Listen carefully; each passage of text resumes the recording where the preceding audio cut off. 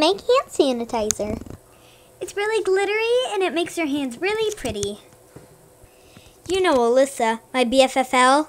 She made these.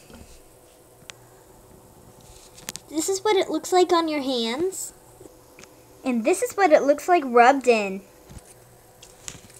Let's get started.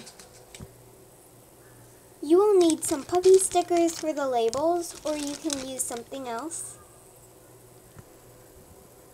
You will need sticky notes for the, la um, the label. You'll need double stick tape, pair of scissors. Oh, and guys, Merry Christmas because um, tomorrow's Christmas Eve. So excited. Jingle all the way. You better watch out and you better not cry. Wait. And some Um, clear big hand sanitizer bottle. Fill it up with your empty, I mean, fill up your empty hand sanitizer bottle with the clear one.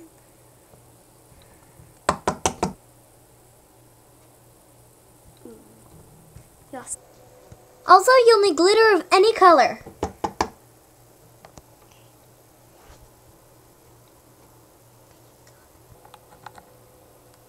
Put your glitter in to make it very glittery. Put a lot in.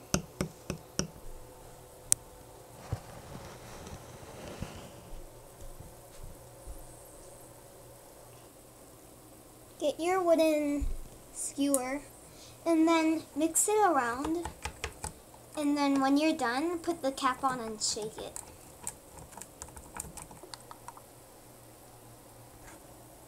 Peel off the label to put on your own. You can add a scent if you want. Any scent's fine. You can add perfume. Pick a sticker of your choice.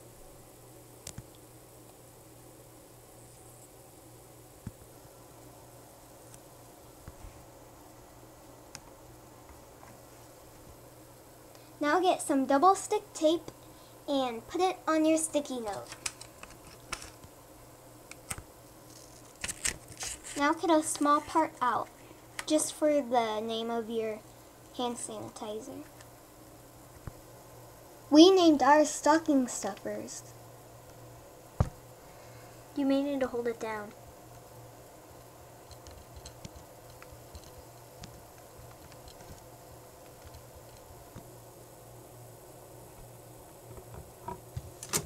And that's all.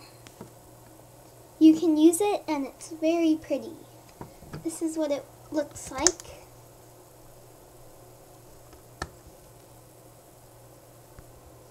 If you don't want it too glittery, don't add too much glitter.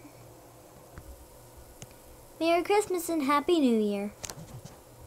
What's in your stocking?